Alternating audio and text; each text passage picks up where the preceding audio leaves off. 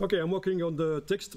So here we have uh, some text aligned to left. As you can see, all the text is on the left of each column, but not uh, on the right. It is aligned to left. If you want to make documents uh, for a leisure uh, purpose, some magazines for uh, not very serious matters, it is a good idea to to make the text as that uh, aligned to left because it is uh, it is well um, received by the readers. Magazines with um, text aligned to left. You want to, if you want to make more serious documents for enterprise, it is a good idea to justify the text to make it um, touch the, each side of the columns. That, that gives a, a, sense of seriousness. Of, uh, uh, okay. So here, for demonstration purpose, we will make the text justified. So we are, we're going to the paragraph um, panel.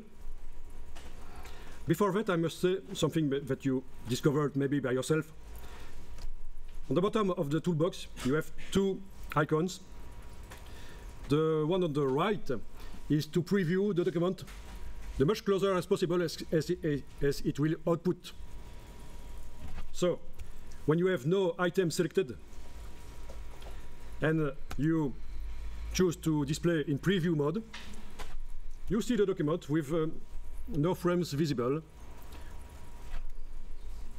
And look at that, if you move the picture, um, okay, I must uh, unlock the layer here. If you move the picture and make it go a little bit outside of the page, the part which is outside of the page is not visible anymore. But in normal mode, you see the objects which, go, which goes outside of the page. You see the frames. Even if the objects are not, are not selected, you see the blue frame on, on, the text here, the red frame on of the, on the picture. Okay? So that's the difference. It is quite possible to work in InDesign while in preview mode. You may work in InDesign in preview mode, but most of the time you will work in InDesign in normal mode, especially when you're working on the text, and I, I will explain why later. so, I lock, I lock the, the layer, the pictures layer once again. I'm working on the text. Okay, and I was um, about to to make appear the um, paragraph panel. So you go in the type menu, paragraph, and here you have the the options to make the text justified.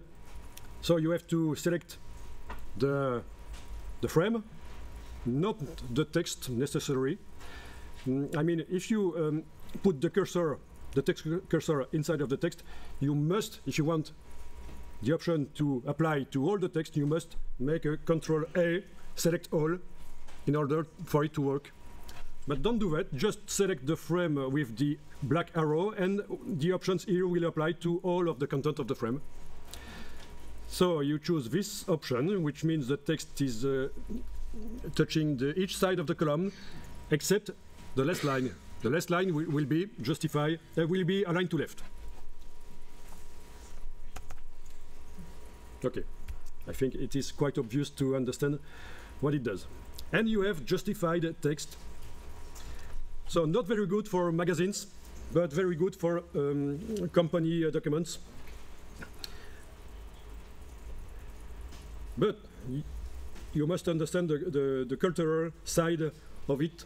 It is cultural. It is uh, there, there are habits different in Europe and the US. In the US, the magazines have the text justified like that, even if it is leisure magazines, um, not very serious matters. You, you will have the, the magazines with justified text like that. In Europe, most magazines will show the text displayed as aligned to left. Okay? So when, when doing a, a publication, a, a document, you must take into account the habits of the country in which you, you, are working in. Um, even for the pictures, the way to to post-process the the pictures, the photos, will be different from one country to the other. In Europe, I'm, I'm not talking about differences between Europe and US, but inside Europe, between, for example, Germany and France, you don't uh, post-process the photos the same for magazines. That's just aesthetics, just ways things are done, habits.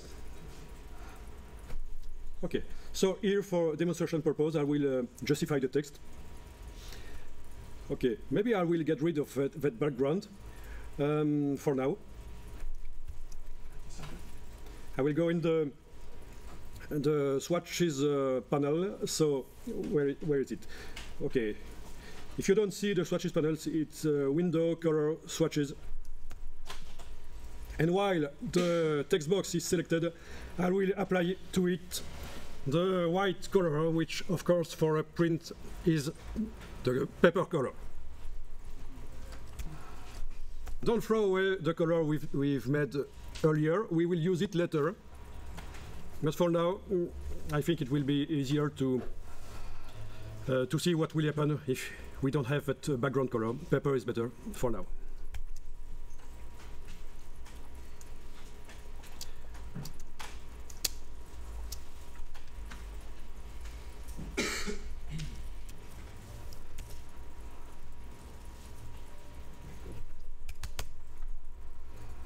Okay, so mm, we will. Um, I will ask you to to um, do your text frame the same size, um, same width as uh, as me.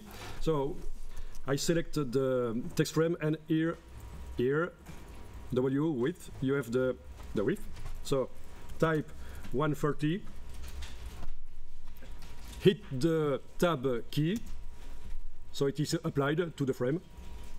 The tab key is a nice thing to know. It goes to the next box, an entry box, and it applies the value that you entered in the first box, okay? 150, for example, and I hit the tab key, it is applied. Okay, but let's make it 130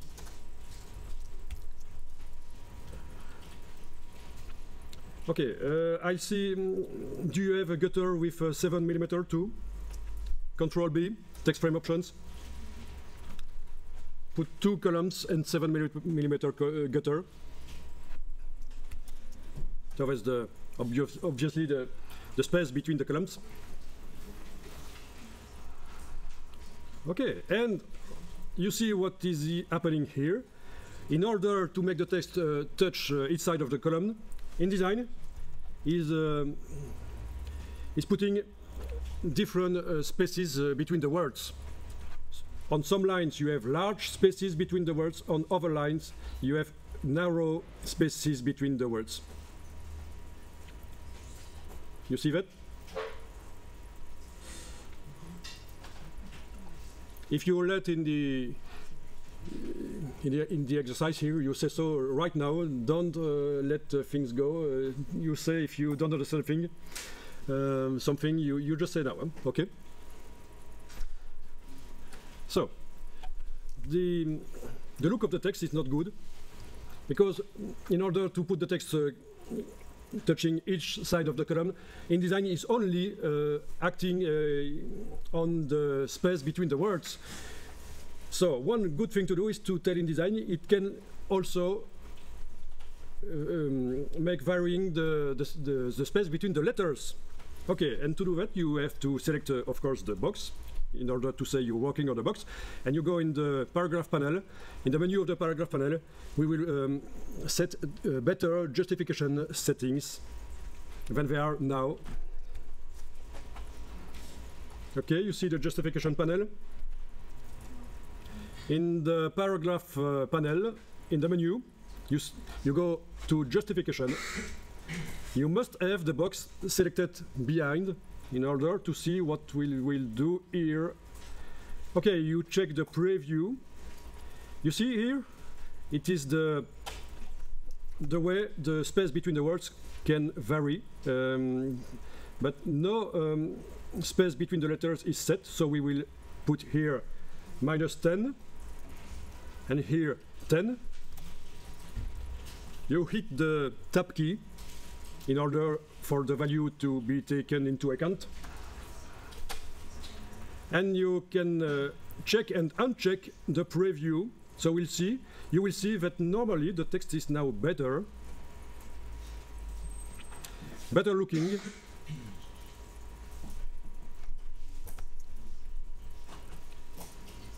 No more large spaces between some words.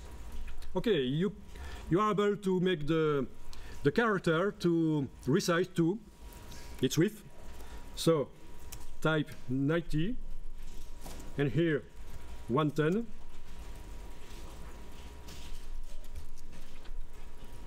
okay. Do you see that uh, when you check the preview it is uh, better looking text than uh, before or no? Not really? Do you see a change in the text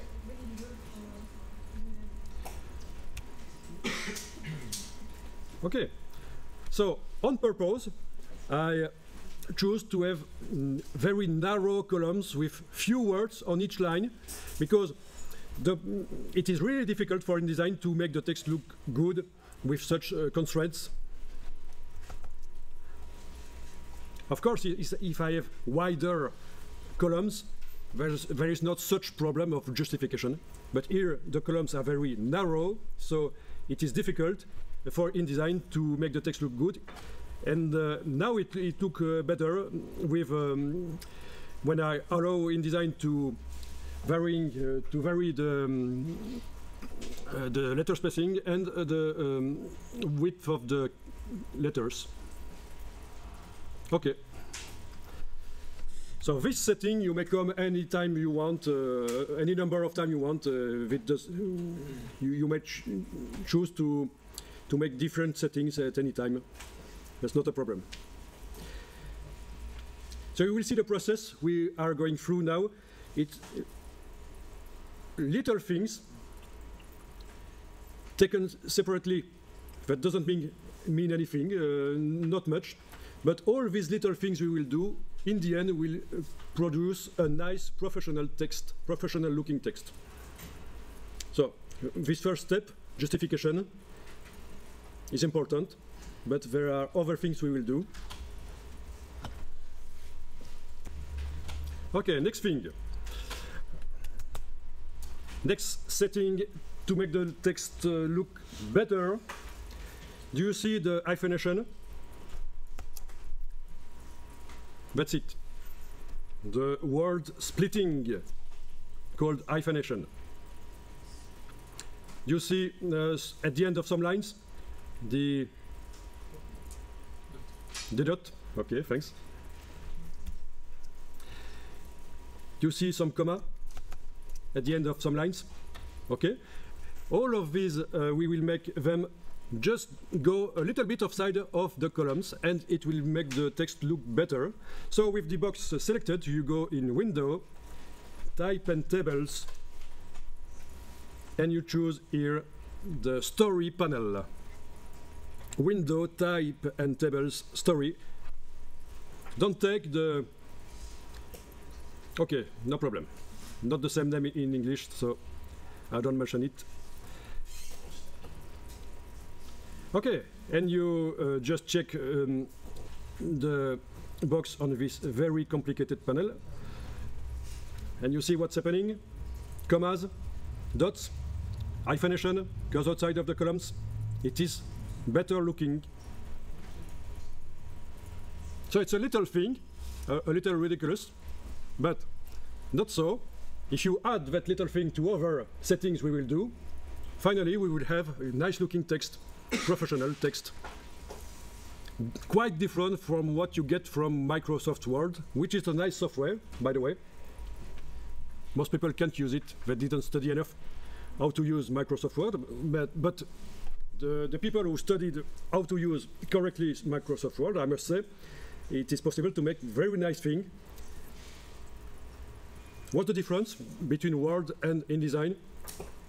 Word doesn't produce good typo typography, not as good as the, the one you, you will get from InDesign. That's the difference. Mainly.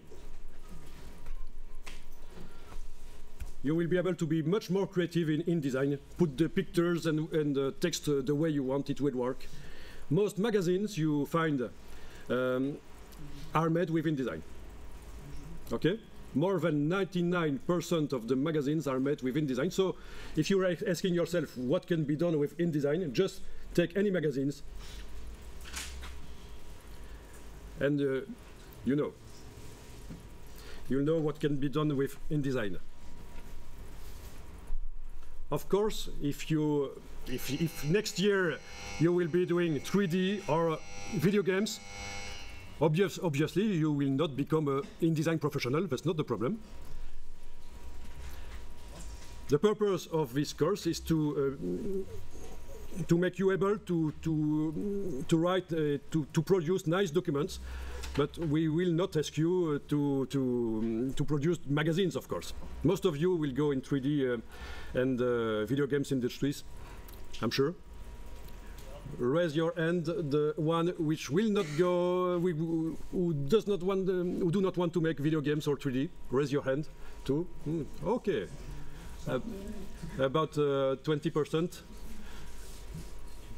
of the students. Okay.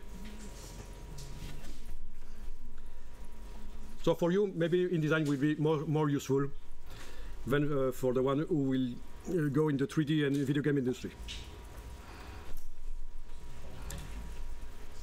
Okay, we continue. So I will um, make appear the character uh, palette, type, character.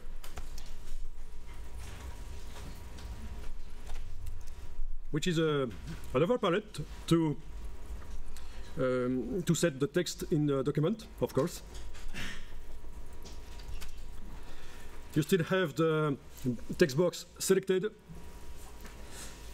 You have um, to choose the type, uh, the font you will be using in the menu here. Okay, if you see a double T, it is a um, not very good quality type. It's called true type, but it works. If you see a O, it is high-end uh, type, really good quality. It's open type. Both type, uh, both um, true type and open type works well. No problem for you being beginners in InDesign. Don't worry about it. Okay.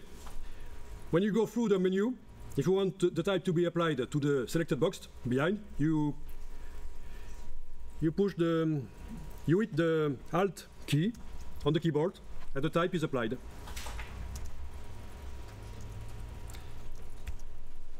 Okay. That's one way to choose the type you want to, to use in your document. Of course, do not do things like this. That kind of type is good for titles, for uh, but but not not for um, for the body, for uh, for the body. Uh, the, the main text in a document, you call it the body, the body text. Not not for the the text uh, of uh, you, under, you understand. Some types are good for titles, of course, but not for the uh, long texts Okay, beware of another thing. I will, I will uh, select the type tool and type uh, a word in French here. Okay. And uh, some type will not have uh, the, um, the special character like this, like this one. Okay, I select the, the box with the the black arrow, I will uh, go through the type uh, menu.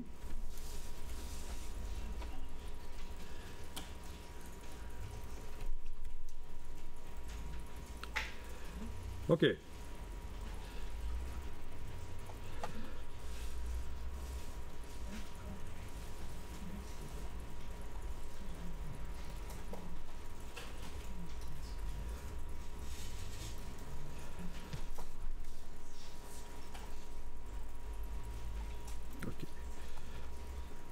You find some types uh, who don't have these uh, special characters? They are only meant to, to be applied to English uh, text. Okay, I don't find them now.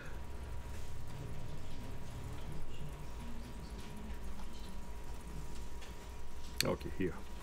Okay, you have a, a character appearing now in pink, uh, pink underlined, which is a way for InDesign to tell you that uh, this uh, letter, this character is missing from the font uh, you've chosen to apply. So that's one thing uh, to take into account if you're writing so, in French.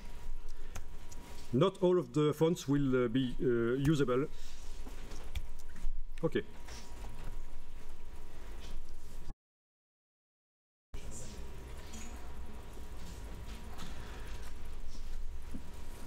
Okay, which are the best font to use? You don't do that, you just watch. I will go on the internet and type some uh, foreign language. Okay. This is a, a good website which shows 100 fonts. And if you choose to use uh, these fonts, it's quite certain uh, that your document uh, is okay. It, these are fonts with good quality fonts. Some are for titles only, some are for body text. Okay, the, the website doesn't offer you the opportunity to download the font. It just shows the name of the font and some story about the font. But at least uh, you have the, the name of the font and uh, from that, you can go to um, another website which offers the, the, opportunity to download the font. You install it on the computer, and maybe it's already installed on the computer. Just check before uh, trying to add it to the font folder of the computer, of course. Okay. Question?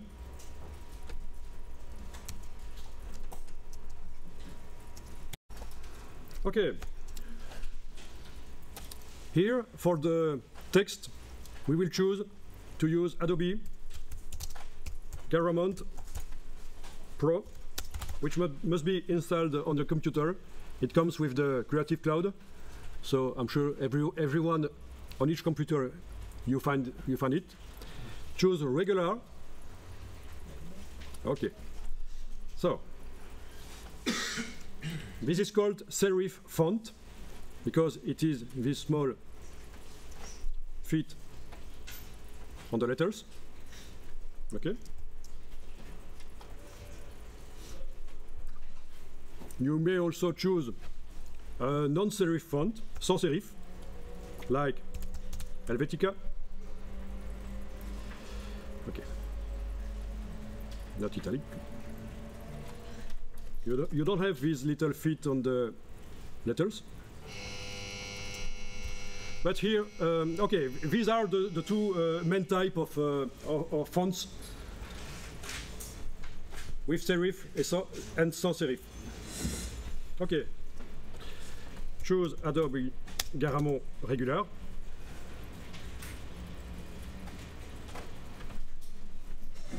So we, we will be synced for the, uh, the exercise, it will be better, but of course for your own uh, documents, you, you choose what you want, whatever font you want. Okay, so you have the size of, of the font here in points. Okay. Try to choose 14, for example. And this is the space between the lines which is 120% of the size of the font. So this value here is 120% of this value here, always. But you may choose to go far away from that value and make most, more space between the lines.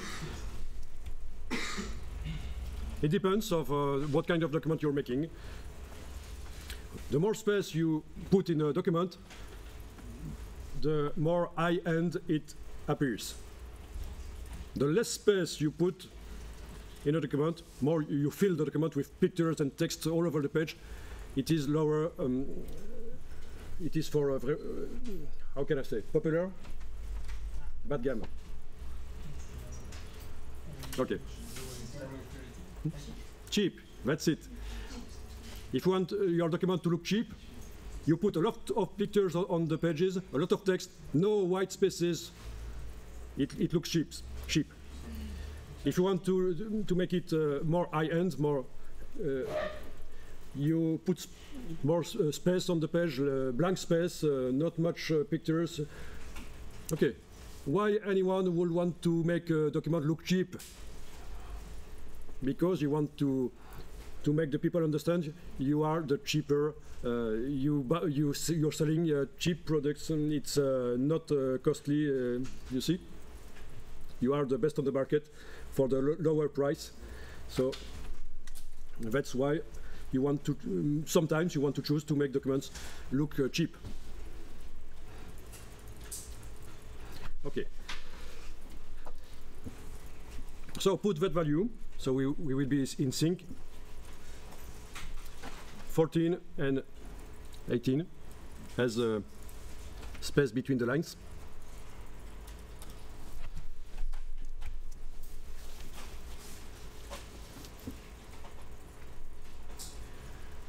Okay, we will make a title now because I want to explain to you something. Uh, it will be better on the title. So you choose the text uh, tool and you draw a text frame just about uh, this size on the page. And you, type in any word, but smaller, just one word. Just one word.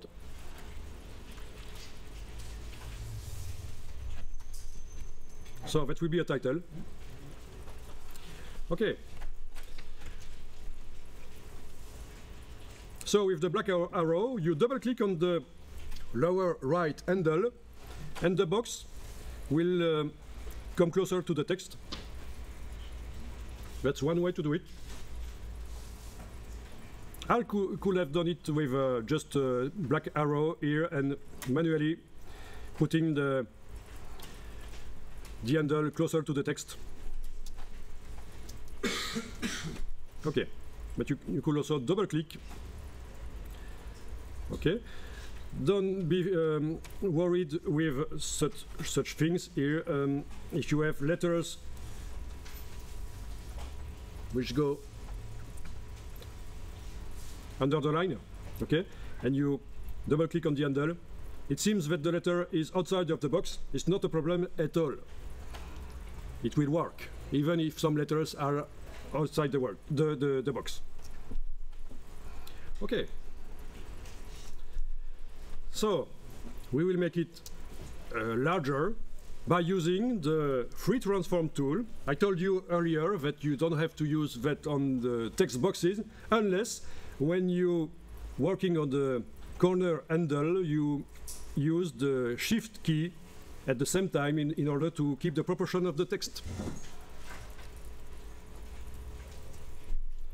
It is not acceptable to to change the proportion of the letters, of the characters, it, it is disre disrespectful for the guy who draw the, the letters. Technically, it is quite possible to do it, but don't do it. Okay.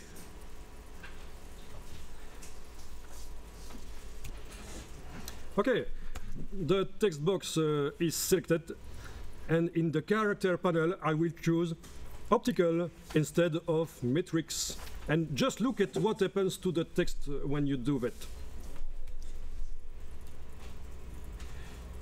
You see? Some letters, some characters are moving when you choose optical instead of metrics. This is a setting uh, which matters uh, with the space between each couple of letters. Each, let each couple of letter is analyzed uh, is by InDesign, and it puts when you, when you choose optical, it it puts the the right um, space between these two letters, uh, these two ones, these two ones. Okay, so it's a really co complicated, um, really uh, complex um, computation and the purpose is to make the world appear um, without holes in it. It is the world appears more as a block with no holes. So that work is normally done by the, gra the graphist, the, the, the guy uh, who, who makes the titles, manually, but InDesign does it for you. It computes it for you. And since it is a computation, one thing can be done which was impossible before in design. You may be able to select a whole text and apply the optical. And it, it changes the space between each letter, each couple of letter is, uh, the, the, the space is really the, the one which is the best for the looking of the, the text. Okay?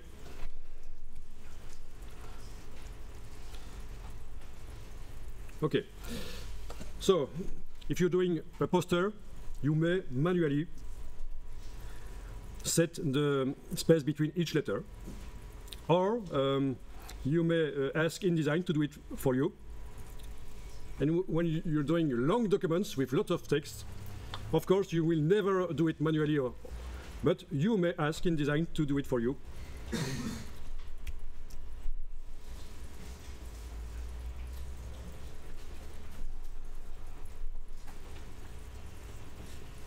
Okay, don't do that. I'll just show you some websites, some uh, pictures.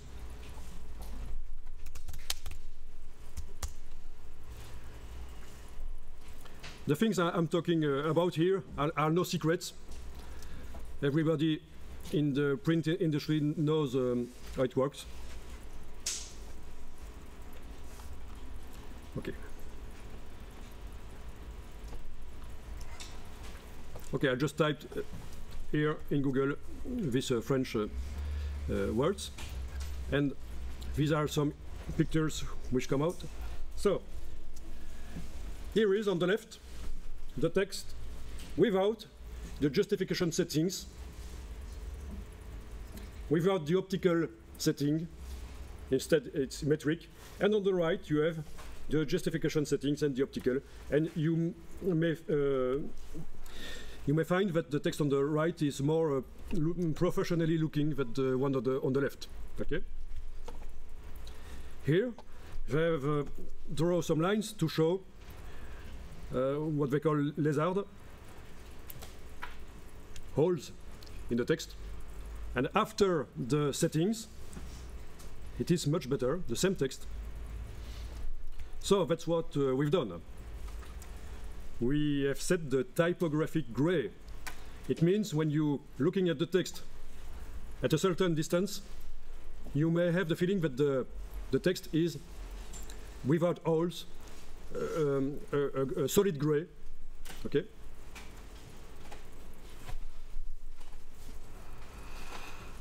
Okay, I keep the, the title for later, just there, or you may put it outside the page. It's not a problem. That's the meaning of that uh, space here, is to put elements which are, are, not used on the page right now. I've prepared them for use later. Remember that if you are in preview mode, you are not able to see anything on the side of the page. Only in normal mode, you will be able to manipulate the things on the side of the page.